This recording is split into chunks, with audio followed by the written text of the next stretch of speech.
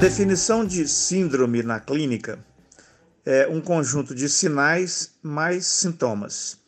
Ou seja, sinais mais sintomas igual síndrome. Então, essa é a compreensão da clínica sobre o termo síndrome. Então, veja bem, o que, que são sinais? Sinais são coisas que, na hora que o médico examina a pessoa, ele encontra. Por exemplo, eu meço a febre da, da pessoa, meço a temperatura e vejo que está lá 38 graus. Então, eu digo: essa pessoa está com febre, é um sinal.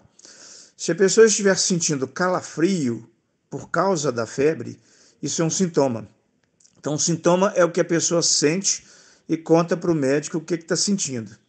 E sinal é aquilo que o médico vai lá, examina e a partir do exame que ele faz, ele encontra. Então, na hora que o médico junta o sinal mais o sintoma, ou seja, aquilo que a pessoa fala que está sentindo, mais aquilo que ele encontra na hora que ele examina a pessoa, então a gente chama de síndrome. Portanto, eu, eu dizer que a Covid-19 é uma síndrome respiratória, não está errado, não. A pessoa tem sintomas respiratórios e quando eu vou examinar a pessoa, eu encontro sinais de alteração respiratória. Então, está correto eu dizer que a Covid é uma síndrome respiratória. Agora, ela cursa com outras coisas, por exemplo, principalmente uma inflamação sistêmica. Ela provoca uma resposta inflamatória no organismo e alguns órgãos, em especial, sofrem mais com essa resposta inflamatória. O coração pode sofrer mais com essa resposta inflamatória, os rins, o intestino e principalmente os pulmões.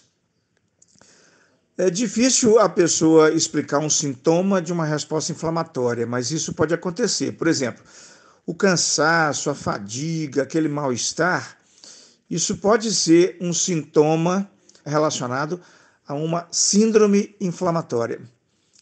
E aí, na hora que eu vou examinar a pessoa, eu encontro o coração acelerado, a respiração acelerada, a febre alta, então, quando eu junto esses sinais mais o sintoma de indisposição, por exemplo, eu poderia dizer então que é uma síndrome inflamatória. Mas praticamente todas as doenças infecciosas, o sintoma é resultado de uma resposta inflamatória, de uma atividade inflamatória. Então, do ponto de vista sindrômico, eu poderia até dizer que a Covid-19 é uma doença inflamatória, mas aí eu estaria sendo muito inespecífico porque qualquer doença infecciosa poderia fazer uma síndrome inflamatória. Às vezes, até doenças não infecciosas podem fazer uma síndrome inflamatória, não é?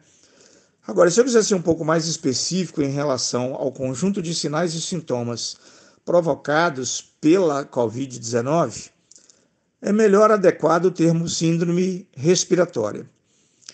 Agora, essa síndrome inflamatória, ela pode causar várias coisas ela pode causar dificuldade de captação do oxigênio, dificuldade de aproveitamento do oxigênio captado, problemas de queda de pressão arterial, pode favorecer o desenvolvimento de arritmias cardíacas, inclusive distúrbios da coagulação.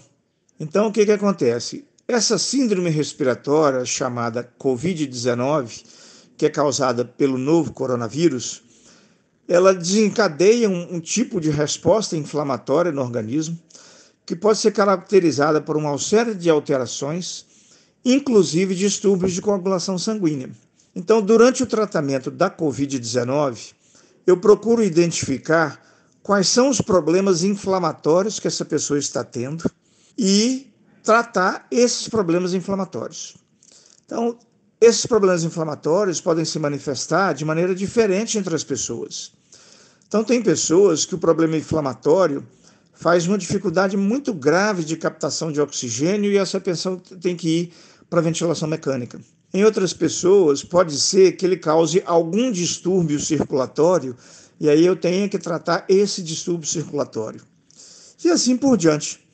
Então, eu penso que é correto chamar a COVID de uma síndrome respiratória, que pode ser uma síndrome respiratória leve, que é apenas tosse, um distúrbio qualquer de, de, de coriza, por exemplo. Ao mesmo tempo, é uma síndrome inflamatória que causa mal-estar, causa febre.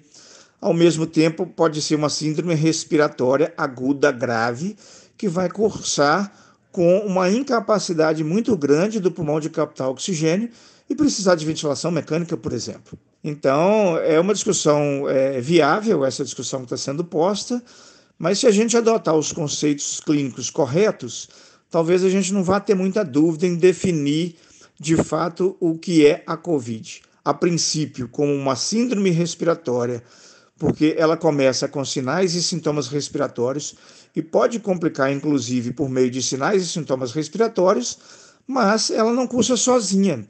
Ela cursa principalmente junto com uma síndrome inflamatória, que pode ser diferente a manifestação dessa síndrome inflamatória entre as pessoas, e essa diferença pode demandar algumas diferenças de abordagem terapêutica.